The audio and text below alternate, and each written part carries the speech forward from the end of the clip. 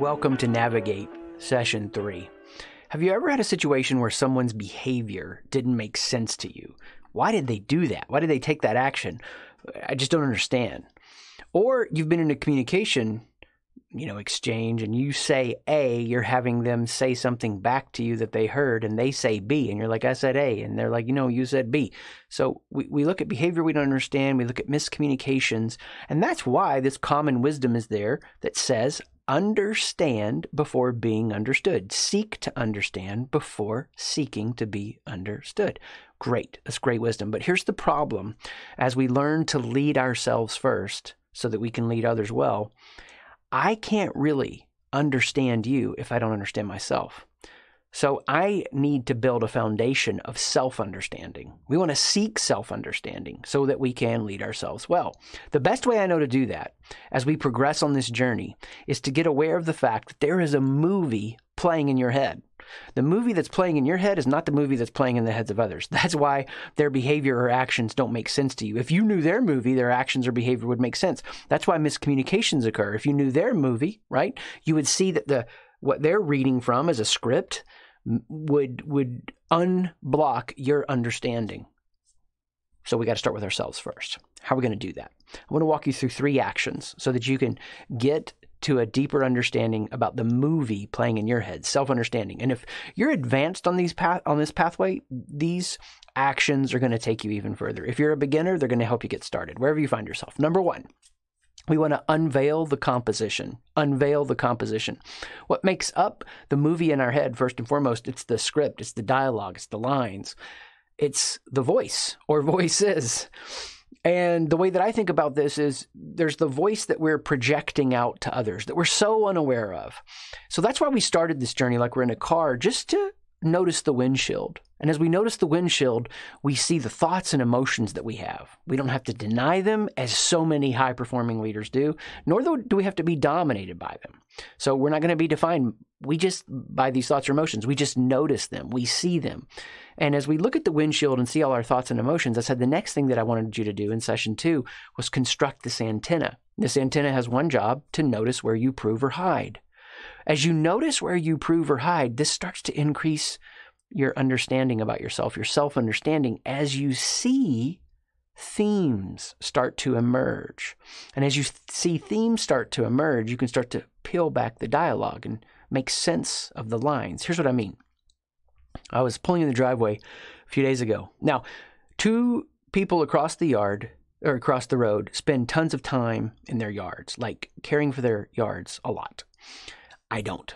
Actually, I have professionals who come up to the house and take care of that. They do that. I can't ever do it at their level. Now, they spend a ton of time in their yard. The guys that come do my yard do it like I mean, it's it's so fast. I don't want to calculate the money. it's like they're in and out. Where are they gone? But I was pulling the driveway and I was like, oh my gosh, my yard looks so much better than their yard, and they're spending all this time on it. Now, that will make sense to you if the movie playing in your head isn't like the movie playing in my head, which is about performance, achieving, wanting to win, wanting to be the best. My behavior won't make sense to you because the movie playing in my head is different than the movie playing in your head. But as I start to unveil the composition, I start to look at the thoughts and emotions I'm having in the windshield. I, with the antenna, I start to notice the proving or hiding. And as I start to notice the proving or hiding, I realize this a ton of the composition, a ton of the dialogue, a ton of the lines are about me trying to convince myself or others of something, or I'm hiding away from my truth and my honesty and what I'm really feeling or sensing. What happens for us over and over when we start to get this big picture view and unveil the composition, we see there is a theme at work. There's a theme at work in the movie of our our lives, the story that's playing out in us. And so we've gone deep with introspection in these first two sessions to start to peel back and realize, oh my gosh, I have something happening in me that's driving me to try to convince others of something or to draw back, diminish, and pull away. Like my yard is better. So, first thing that I'm doing is I'm unveiling the comp- composition. And as I unveil the composition, what's really transformative is I start to realize, oh, the movie that's playing in my head isn't necessarily real. So if somebody gives me feedback on something or critiques me, or maybe my wife is making a comment to me about something, I think it's an attack, but it's not really an attack. She's actually just expressing or communicating something important to her. We do this all the time. We read into other people's motives. We read in things they're not really saying. So we don't make sense to each other in our behaviors and actions, and we miscommunicate. Why? Because the movie playing in their head is different than the movie playing in my head. Now, as this starts to sink in and you grab a hold of this reality, you see this compositional theme start to develop. You see the dialogue is around what we call an identity fear. And we're going to go deeper in this in another section. But right now, just introducing this to you, what most people don't realize is they've tied an identity to some way of showing up or being in the world. There's a term in psychology called identity foreclosure. In other words, they've locked in an identity way too early into a specific role, into a specific relationship, and that defines all of who they are. So, this is why we need to go to step two not only unveil the composition, but understand the character. Understand the character. You're the character. And a boring movie does not have character development in it. There's no choices. There's no being made better or worse as their values are challenged. And you and I, as leaders, we can't lead others well till we lead ourselves well first leading ourselves well first, we continually face challenges where we know we're going to be tested. And we're either going to future proof our resiliency as we get ready for those tests, or we're going to get in the moment of those tests and crumble. So I want you to start to think about the character arc of who you are and who you're becoming, how you show up, how you lead. It's really difficult to see yourself and and even more difficult I think to to see yourself when you've got a lot of embedded patterns. So if you were able to watch yourself on a movie, you would see some things and go, oh my gosh, those dots connect so clear. Much like as it's been these strange times, I've been working out in my basement the last year and I was feeling really good about myself. And I went to a work trip and I was working out in the hotel weight room. And I've got this little mirror that I can use here at in the basement, but now I'm surrounded by mirrors. And let's just say I'm way more fit at my home basement than that hotel weight room. it was it was a, a, reminder. There's still a long way to go, Chris. There's still some transformation to see happen. And it's so difficult to really understand the character of who you are, to see yourself and let that mirror view come back to you. Why? Well, because so much of who we think we are is really our personality. It's the insecurities that we developed pre verbal, and we developed a personality around uh, these insecurities so that we could protect ourselves, so that we could power up, or so that we could diminish and hide.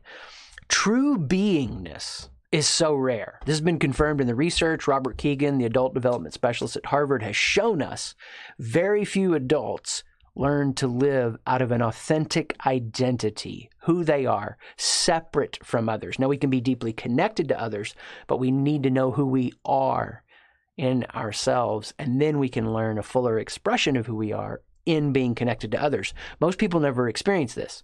They actually build their identity, how they show up in roles and relationships. And this is what's so dangerous about leadership. If you don't ever understand the character of who you are, you as a leader will need people to respond a certain way so you can feel whole. And this sets you up for so much failure. We are at our core, we, we have an identity that is ours to discover. We are at our core a character of truth. And understanding that true character takes time.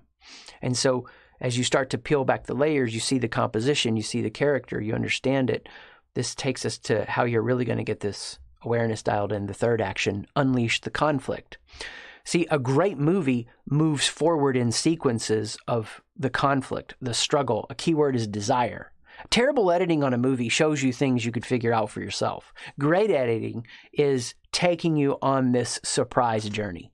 And your life as a leader is a surprise journey you are in a place where you're facing conflict.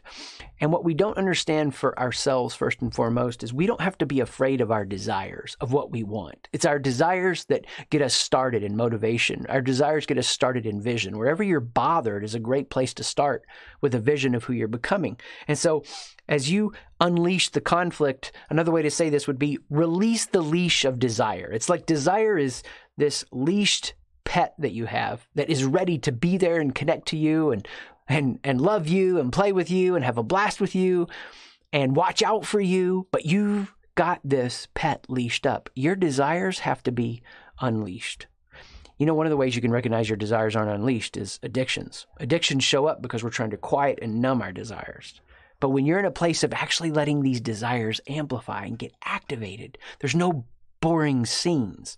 Yes, you might be in the leadership rhythms and routines where there's mundane things you're doing and fulfilling. But when you look at the character arc of who you're becoming, you look at your life in terms of what are the challenges I've faced this quarter, this year, the last five years? What are the top hurts in my life? What are the top hurts in the last five years, 10 years, whatever? All of those things start to show us this story that's unfolding. And I'm going to give you the best way of thinking about how you can use this journey that we're talking about in being in a car and start to discover something about yourself. Rene Girard said we're mimetic beings. It's hard to know what we really want because we're copying others. I want you to think about when you're on a car ride and you've gone on this drive and you've been relaxing into the flow of that ride in such a way that your mind starts to wander. You start to daydream. And, and when you're daydreaming, we know this, as the mind is imagining the future, neurons are firing. It's like it's actually happening. And I want you to imagine the kind of daydreaming that isn't about escaping pain, that isn't about escaping some challenging circumstance. And I get that. And sometimes we're in those places. I want you to imagine more like a child who, out of true desire, every need is met, daydreams are coming out of them. And I know it may be difficult for some of you. I mean, go back to the last time in your mind's eye that you can, that you felt safe or loved or peaceful or taken care of, or that everything around you that you needed was just right there at arm's reach, or a, a place that you could fit in and know your place in the world because of your place in this group, whatever it looks like. Go back to that like a child. And as you're in the car and you're relaxed and you have all that you need, and we're just imagining that for now as you're in this car, where do your daydreams go? Where, where does desire show up for you? Because as you unveil the composition and start to see the real script that's happening, and you understand the character arc of who you're becoming, and you unleash the conflict, and you start to see where your desires may not match your current circumstances, you're starting to get a clue and a signal about who you are and what you really want. We're going to go much deeper on this. Note those daydreams.